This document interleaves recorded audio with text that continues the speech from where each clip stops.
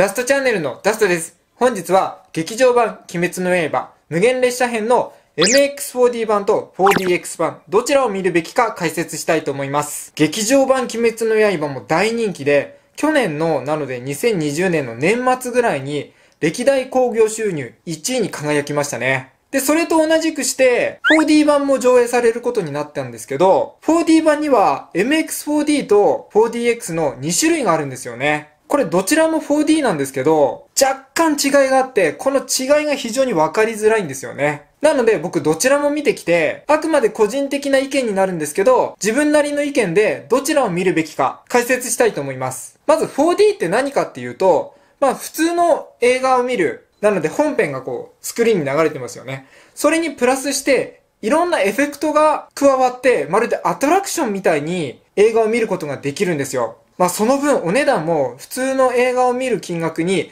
プラス1000円上乗せされるので失敗したくないところですよね。なのでこの動画をぜひ参考にしていただいて後悔しないように楽しんでいただければなと思います。じゃあ早速結論から言いましょう。結論。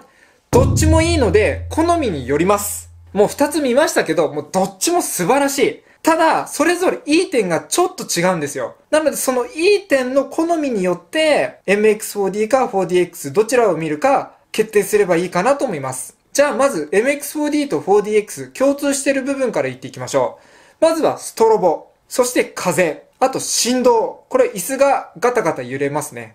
あと突き上げ。これも椅子座ってると、背中とかお尻の辺からこう拳で突き上げられたような突き上げる振動が来るんですよ。あと椅子の揺れ、こう、ぐらぐら揺れるんですよね。そして水しぶき。あとは匂い。大体僕が気づいたところだと、このあたりです。さあ、ここからそれぞれの違いに迫っていきましょう。まずは MX4D 版。まずエフェクトの違いは、スモークがありました。スクリーンの前あたりからふわーっとスモークが焚かれるんですよ。これはね、4DX では僕は気づかなかったので、まあ、MX4D だけの演出かなと思います。まあ、この鬼滅の刃に限ってかもしれないんですけどね。あとは、匂いが強い。かまど炭治郎ってすごく鼻がいいキャラ設定なので、まあ、鬼が近くにいたりすると鬼の匂いを感じたりするんですけど、その時にね、なんとも言えない、んもう嫌な匂いがしてくるんですよ。本当に大げさに言うと結構気持ち悪くなっちゃうぐらい不快な匂いでした。あと、桃が映るシーンとかもあって、その時はね、甘い匂いがふわーっとしてきました。ただこれは、まあ僕家族で行ったんですけど、奥さんに聞いたところ、奥さんはね、匂い感じなかったって言ってたんですよ。だからもしかしたら、まあ、座ってる位置とかの関係もあるかもしれないですけど、4DX、まあもちろん 4DX も匂いはするんですけど、4DX よりも僕は MX4D の方が強く感じました。あとはね、これはね、個人的な感覚になるんですけど、椅子が広い。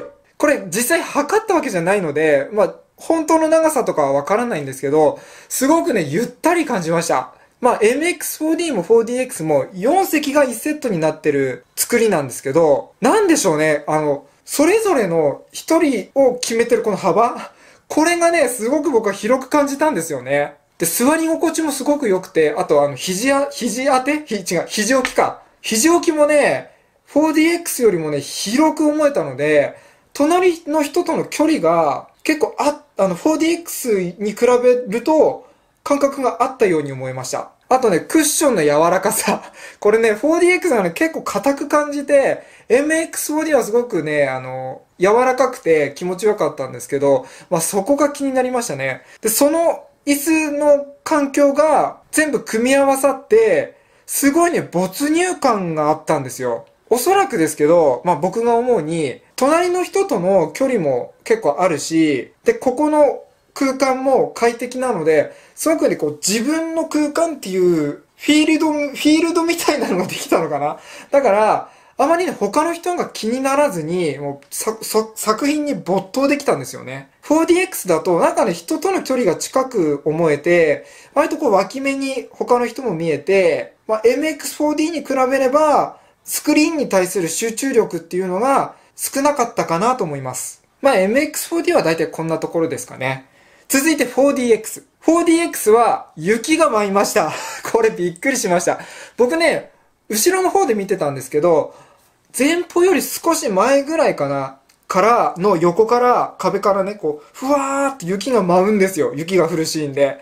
うわーと思って全体に雪が降るわけじゃないので、まあ一部分なんですけど、まあスクリーン見てる自分からしたら、その前に雪がわーって舞うので、すごい綺麗でしたね。あとは頭のこの部分から風がピュッて吹くんですよ。結構これね、びっくりしますけど、エフェクトとしてはね、すごく面白かったですね。あと、水しぶきが多い。この水しぶきに関しては、鬼滅の刃は大きな要素になると思うんですよね。まあ、なぜかっていうと、かまど炭治郎が水の呼吸を使うので、まあ、それを繰り出すたびに水しぶきが、まあ、MX4D でも 4DX でもかかってくるんですけど、4DX の水しぶき量が多い。MX4D と何が違うかっていうと、まず MX4D も 4DX も、まあ多分ね、あの、肘置きのこの辺りからピブッとこう、水が、まあ水しぶきが飛んでくるんですよね。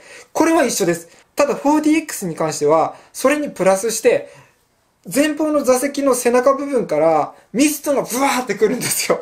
だからね、結構濡れるんですよ。まあ濡れると言ったらまあ大げさですけど、結構ね、びっくりする。まあそこが違う点でしたね。なのでまとめると、作品への没入感を求める方は MX4D。アトラクションとして存分に楽しみたい方は 4DX。まあ、これの好みによってくるかなと思います。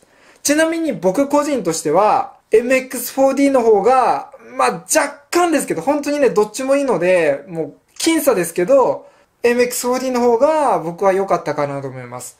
何が良かったかっていうと、まあ、やっぱり座席のこの、なんだろう開放感っていうのかな、すごい楽だったんですよ。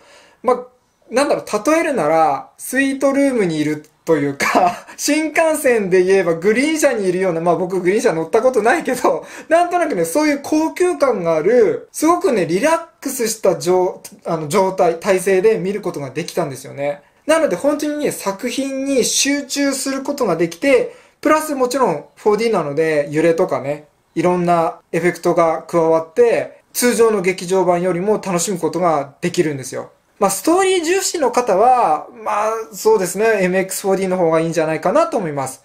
ただ、遊園地みたいにアトラクションとしてわーって楽しみたいっていう方は 4DX っていう感じかな。まあ今公開開始からしばらく経ったので、今撮影しているのが2021年の1月の5日なので、少しね、時間経ったんですよ。だからね、だいぶ席が取りやすくなってると思います。もう当初なんか全く取れませんでしたからね。なので、4D 見たいな、気になってるなっていう方は、ぜひ 4D 版の鬼滅の刃無限列車編楽しんでいただければと思います。ということで本日の動画は以上です。最後までご視聴いただきましてありがとうございました。もしこの動画面白いと思っていただいた方は、チャンネル登録と高評価、そしてコメントもよろしくお願いいたします。ではまた次の動画でお会いしましょう。ドストレシャー。バイバーイ。